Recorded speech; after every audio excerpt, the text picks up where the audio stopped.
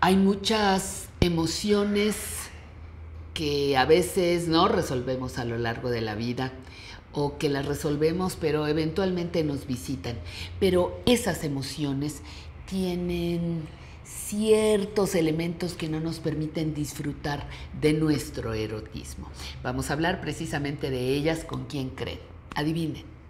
Con la doctora María Antonieta García Ramos es nuestra invitada el día de hoy, médica, terapeuta eh, sexual, que desde hace muchos, muchos años se ha dedicado justamente a dar terapia a las parejas, a trabajar con grupos, eh, con su propio cuerpo, un largo eh, camino recorrido con el trabajo con mujeres. Y el día de hoy vamos a hablar de estas emociones boicoteadoras, em, a veces, no me gusta la palabra, pero a veces son requete castigadoras de nuestro erotismo. ¿Cuáles serían esas emociones? Eh, las alteraciones eh, de nuestro erotismo a partir de las emociones son generadas por básicamente por tres sentimientos que están ahí metidos. El miedo, la tristeza y el enojo de los cinco sentimientos básicos, miedo, alegría, tristeza, enojo y amor, los tres dolorosos, miedo, tristeza, y, enojo, son los que generan eh, alteraciones negativas en la respuesta sexual humana.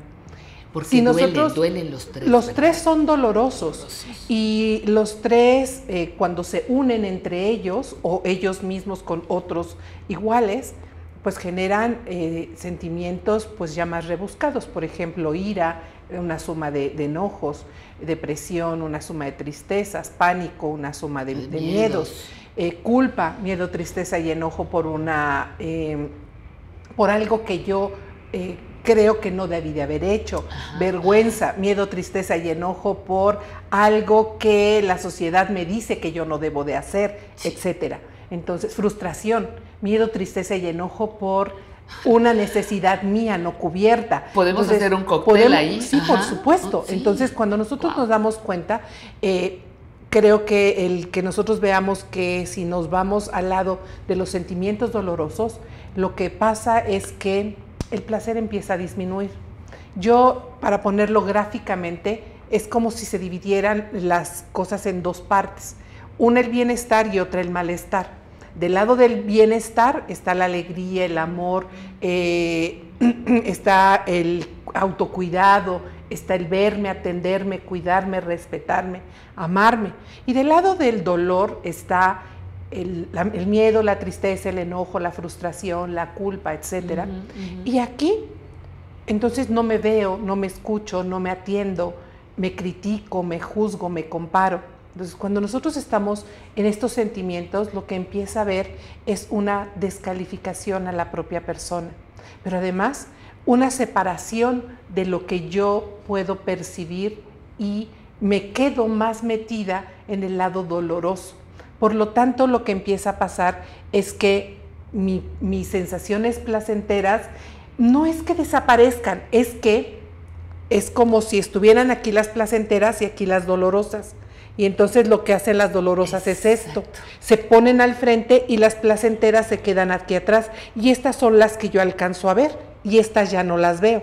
Cuando yo empiezo a atenderme y empiezo a atender las cosas dolorosas, lo que empieza a pasar es esto, que esto se empieza a diluir y se empieza a ir, se empieza a quitar y empiezan a aparecer las cosas placenteras. ¿Y qué pasa, Tony, cuando culpo a la pareja de lo que me está pasando? Es decir, es que tú no me tratas bien, es que tú me haces enojar, es que tú no sabes, es que tú no entiendes. ¿Qué pasa cuando paso esto que es mi, mis emociones, mis cosas no resueltas? ¿Qué pasa cuando se las paso a la otra persona? Bueno, pasan varias cosas que son importantes. Lo primero es que esto es lógico porque nosotros a quien vemos es a la otra ah, persona. Entonces estamos, es mucho más fácil ver lo que está afuera y no ver lo que está dentro. Entonces lo primero que hago es pasárselo a la otra persona. Pero en una relación siempre son dos. Pero la realidad es que son tres. Tú, yo y nuestra relación. Ah. Entonces es lo que te pasa a ti, lo que me pasa a mí y lo que pasa entre tú y yo en la relación. Lo que tú pones, lo que yo pongo, lo que tú dejas de hacer, lo que yo dejo de hacer, lo que recibo yo de ti y lo que recibo de la relación, lo que recibes tú de mí, lo que recibes de la relación. o sea, fíjate cuántos pedacitos hay. ¿Y qué es lo que pasa? Que cuando yo empiezo a culpar a la otra persona, entonces empieza a haber problemas en la dinámica de relación. Y después, tarde o temprano, yo tengo que decir, bueno, ok, eso es lo tuyo y tengo que regresar a lo mío y empezar a hacerme cargo de mí. Por eso es tan importante que cuando nosotros ya no encontramos la salida, nosotros regresemos al único punto que tengo de certeza, que soy yo, yo y mi cuerpo. Y yo y ¿Qué lo que estoy haciendo yo? ¿Qué estoy sintiendo yo? ¿Qué necesito yo?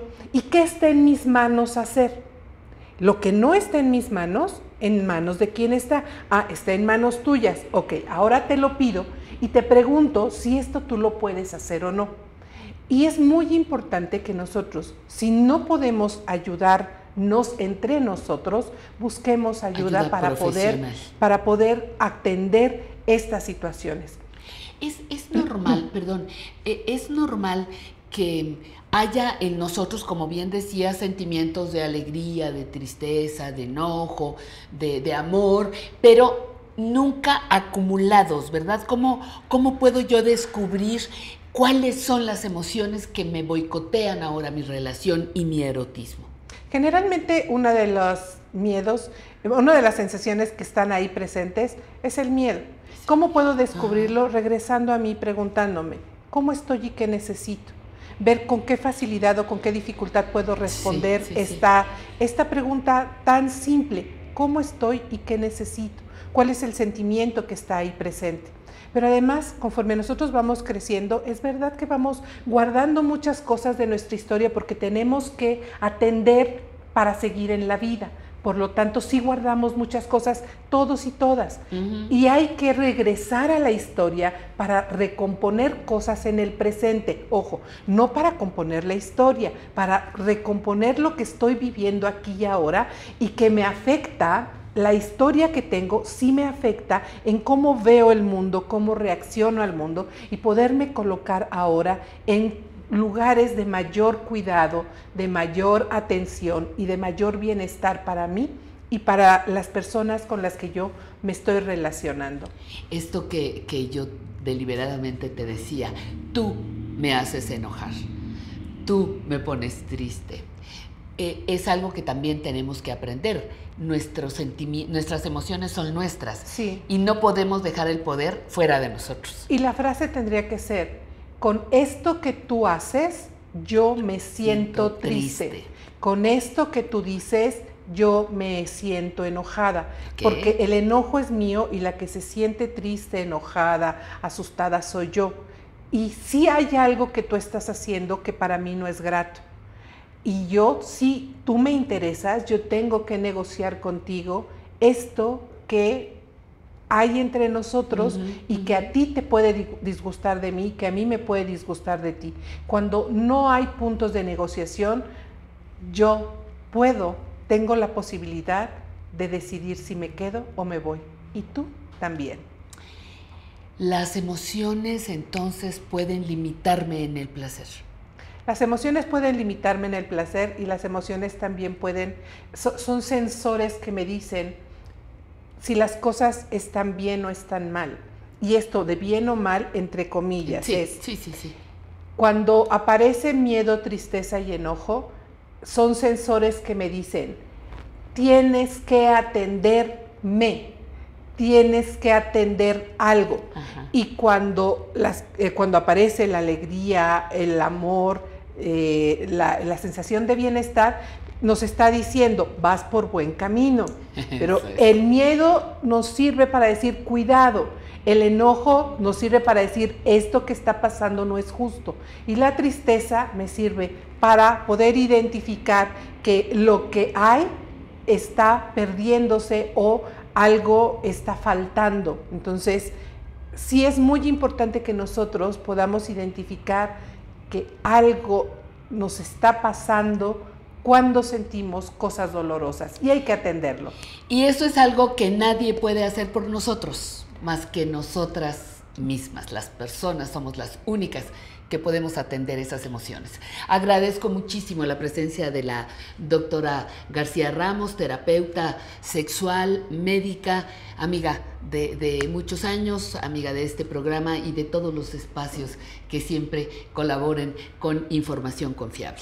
Muchísimas gracias. Esto es Vejez Creativa y no se les olvide, tenemos muchas, muchas ideas para enriquecer tu envejecimiento.